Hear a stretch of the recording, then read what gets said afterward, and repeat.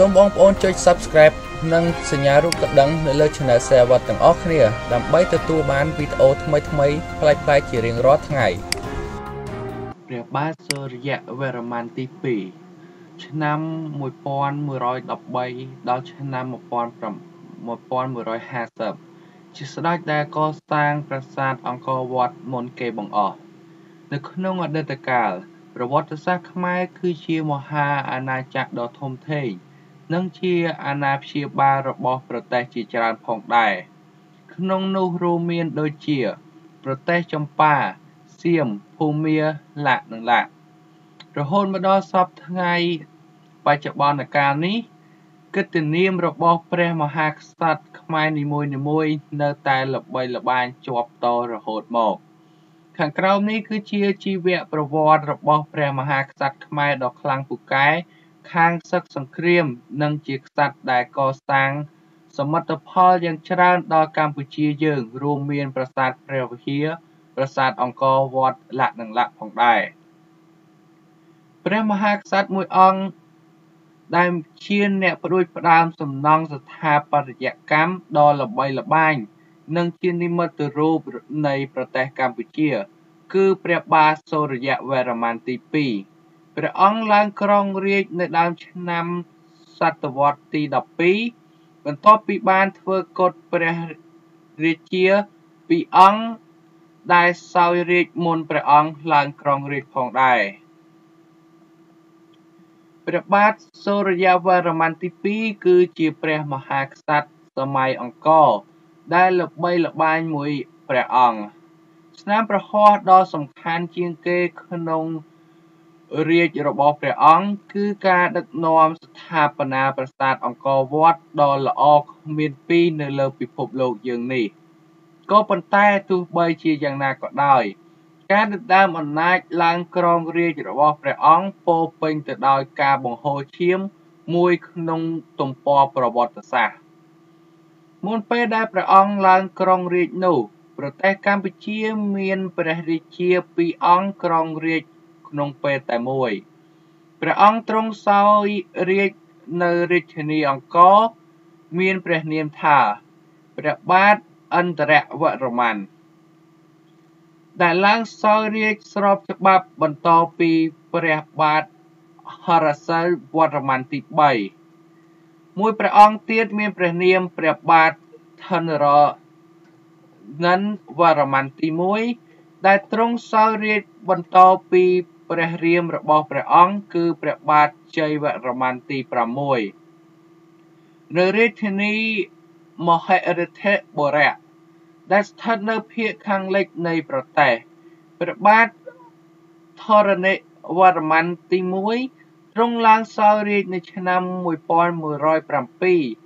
ហើយទ្រង់ចូលទីវង្គតនៅឆ្នាំ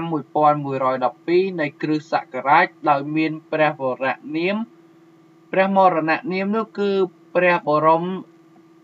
ស្កលបុត្រអ្នកដែលធ្វើកុដព្រះអង្គព្រះបាទធរណ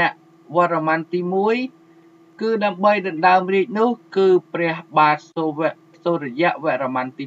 2ដែលជាចៅក្មួយរបស់ព្រះអង្គនោះឯងដំបូងឡើងព្រះបាទសូរ្យវរ្ម័នទី2បានធ្វើកុដព្រះបាទ ធរណវរ្ម័នទី1 ជាឪពុកមារបស់ខ្លួន បន្ទាប់មកព្រះអង្គក៏បានលើកទ័ពទៅច្បាំងជាមួយនឹងព្រះបាទឥន្ទ្រវរ្ម័ន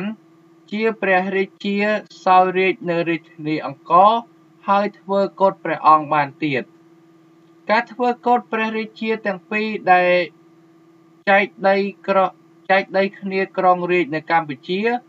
ក្នុងពេលតែមួយនេះបានធ្វើឲ្យព្រះបាទសូរ្យវរ្ម័នទី2គឺអាចបង្រួបបង្រួមនគរខ្មែរឲ្យទៅជាមួយឡើងវិញក្រោយពីធ្វើកុដព្រះរាជាទាំងពីរបានហើយ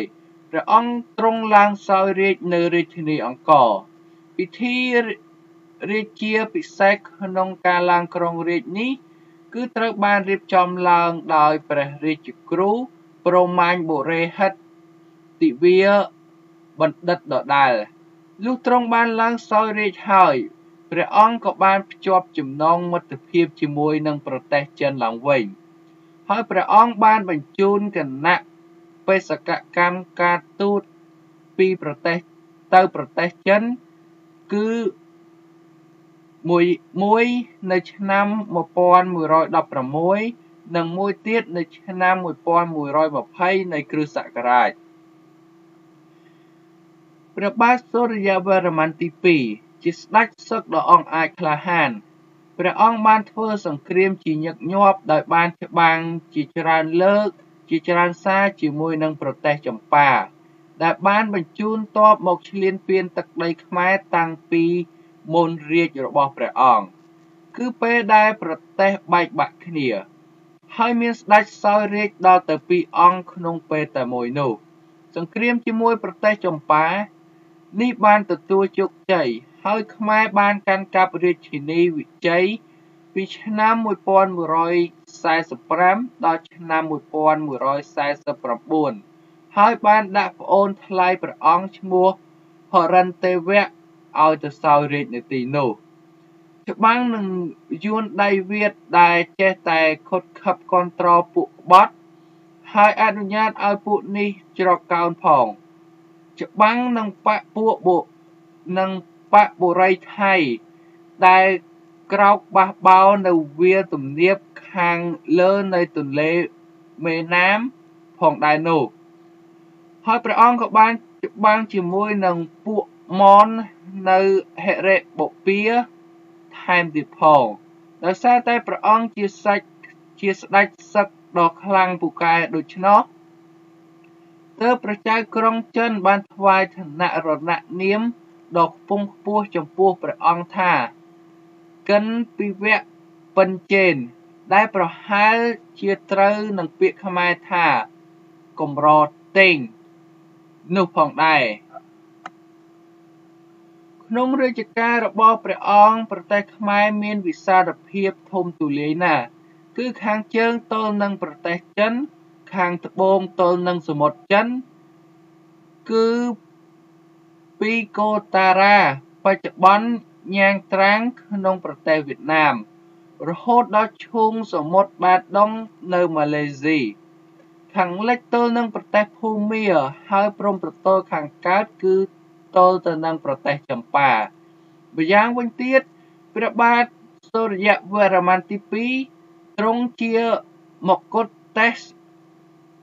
ដ៏ឆ្លាតវាងវៃក្នុងការដឹកនាំនៃប្រទេសជាតិព្រះអង្គជាព្រះមហាក្សត្រខ្មែរដំបូងបំផុតដែលមានជំនឿសពនៅលើសាសនាព្រហ្មញ្ញគឺគណៈព្រះវិស្ណុដែលក្នុងសម័យនោះមានប្រជាប្រិយភាពធំធេង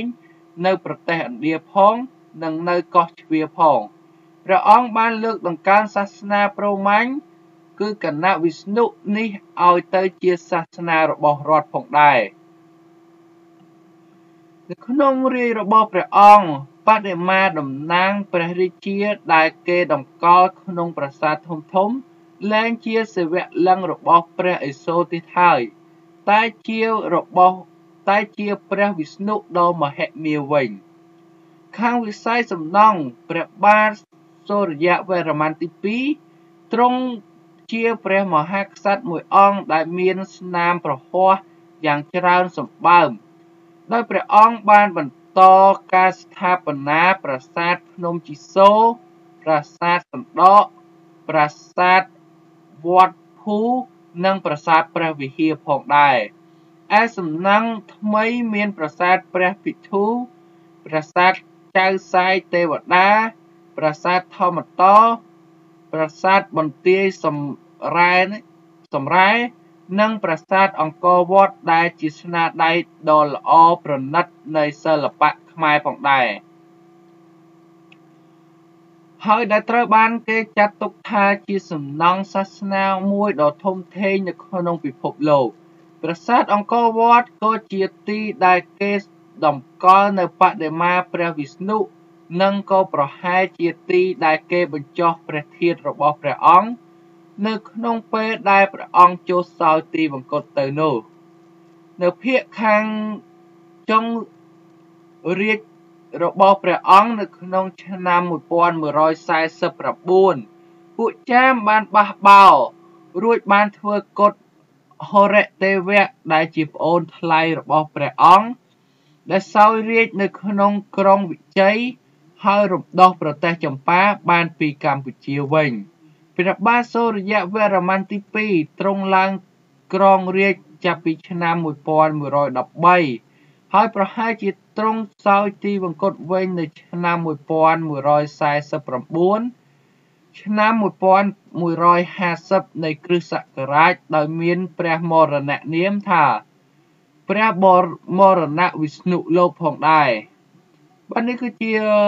ប្រវត្តិនៃព្រះបាទព្រះអង្គសូរ្យវរ្ម័នទី2ដែលជាអ្នកដែលបានបង្កើតនិងកសាងប្រាសាទអង្គរវត្តដំបូងគេបង្អស់និងបញ្ចប់ទៅវិញទៅដោយព្រះបាទព្រះបាទជ័យវរ្ម័នទី7ផងដែរបាទបើសិនជាមានកំហុសខុសឆ្គងចំពោះខ្ញុំបាទដែលអានឈ្មោះរបស់ព្រះអង្គម្ចាស់ និងស្ដេចខ្មែរនៅនាសម័យបុរាណខុសតោះត្រង់ណាក៏សូមអភ័យទោសចំពោះខ្ញុំបាទផងដែរពេលនេះខ្ញុំបាទក៏សូមបញ្ចប់អត្ថបទនេះត្រឹមប៉ុណ្នេះបាទសូមអរគុណប្រិយមិត្តទាំងអស់ដែលតាមដានតាំងពីដើមរហូតដល់ចប់